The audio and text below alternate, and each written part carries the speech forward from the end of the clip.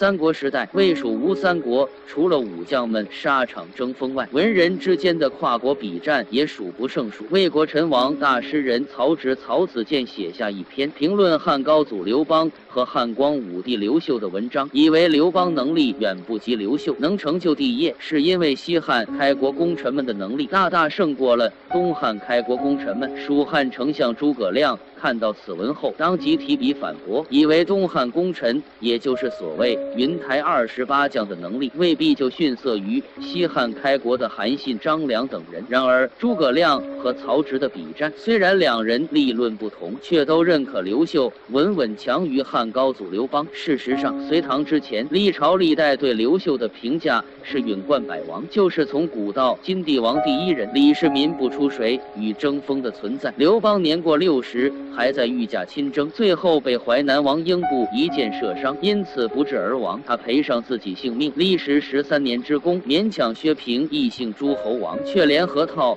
岭南、福建、浙南这些秦始皇之前打下的版图都至死拿不回来。大汉开国百战精兵，在韩信指挥下能围杀勇冠千古的西楚霸王项羽，而在刘邦指挥下却被冒顿单于打出个白登之围。此后连年向匈奴送钱粮、送女人。刘秀呢？论起点，不过是一个南阳种地的农民，还是新朝王莽政权必欲除之而后快的前朝余孽，却只用十几年时间就。恢复了汉朝最鼎盛时期，除西域外的全部版图。可惜不知何故，后来人反把千古圣贤诸葛武侯的结论都忘记了，反倒拿一敌大老粗石勒的话来当论据，硬说刘秀不如刘邦，实为可笑。英雄造时势，时势造英雄。汉世祖光武皇帝刘秀，昆阳之战以七千敢死之士，连同援军两万六千，灭新莽政府军精锐军四十二万，一战摧毁一个大一统帝。帝国创下前无古人后无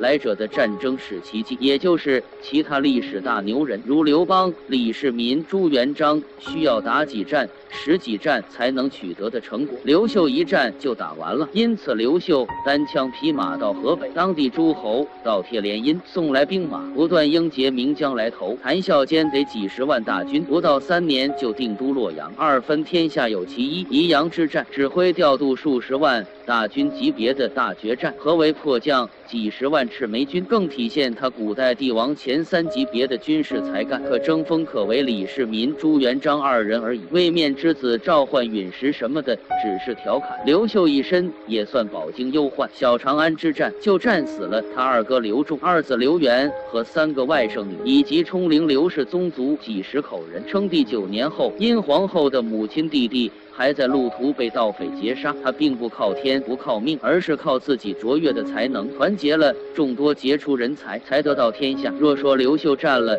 前朝皇族汉室后裔的便宜，在新莽年间作为前朝余孽，整天担惊受怕，朝不保夕，只有比刘备在东汉末年更不值钱。刘盆子也是汉室后裔，他能号令赤眉军任何一人吗？真定王刘阳，正经的西汉诸侯王后裔，坐拥十万大军，为什么要？招招揽光杆一个的刘秀上门，而不是以此为资本自己去打天下呢？不是因为刘秀的出身姓氏，而是因为刘秀的卓越能力让他信服，这才舍得投资。刘秀从南阳种地的农民加入义军，到进洛阳称帝，坐拥半个天下。几十万大军就仅仅三年而已，和历朝开国之君比，论起家速度，仅仅弱于一年克长安称帝的李渊。可李渊的职位是太原留守唐国公，封疆大吏，这和刘秀的起点完全不是一个级别。如果说刘秀统一进程太慢，称帝后又花了十二年，不妨看看都说刘邦统一速度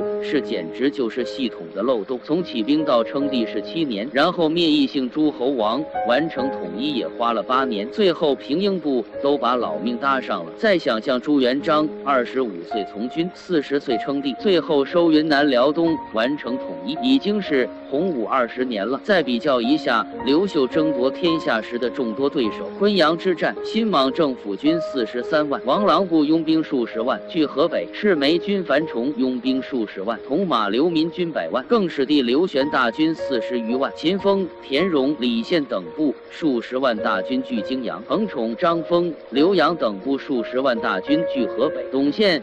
小强等部武校流民军数十万大军，严岑二十万大军据关中三府，张布二十万大军据清徐二州，奎霄二十万大军据陇西，公孙述二十万大军据巴蜀，卢方十万大军据雁门。真觉得这些群雄诸侯会比其他王朝那些每战出动数万兵，多则撑死十几万兵的割据群雄差劲？无非是没有一部《三国演义》。替他们大吹法罗罢了。以诸葛亮之才智，对刘邦本身的才干评价，不过多书阔三字。对刘秀却叹服其神略计较，生于天心，策虑深远。认为正是刘邦能力有限，才显出了韩信、张良、陈平之智，而刘秀天生睿智，策谋深远，自然就将身边属下的才干尽数掩盖了。其实，正如诸葛亮所说，刘秀的属下。比之列朝开国功臣，本身能力也毫不逊色，只是主君太强，导致自己发挥空间不足。就说他比之为无知韩信的梗眼，决策河北、定计南阳的水准，何尝就比韩信汉中队？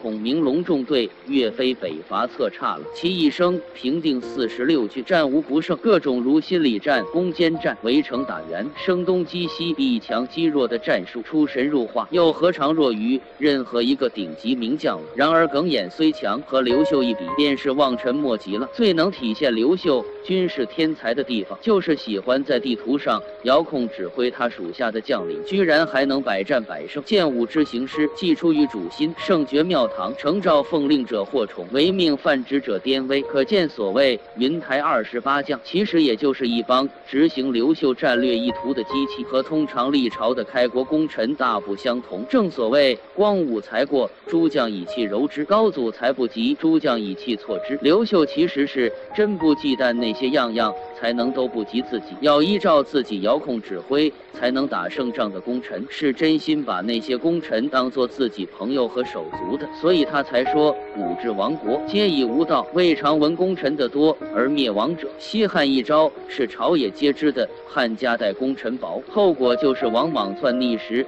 几乎没遇到什么正经的阻力，一直到他自己乱改制，搞得天下大乱，老刘家才借机复兴，同样汲取了这样的教训。刘。刘秀才会后代属下这些功臣，封了一大堆的万户侯，比如贾复封六个县，邓禹、乌汉封四个县，三县冯异封三个县，耿眼、岑彭封二个县。而西汉两百年不算伯昭、窦广国等个别外戚，也只有开国的。曹参和张良是万户侯，以及汉武的卫青或去并身兼外戚和功臣是万户侯，足见刘秀对下属之优待远远胜过西汉诸帝，方为汉家延命二百年，成就了中国历史上最伟大王朝。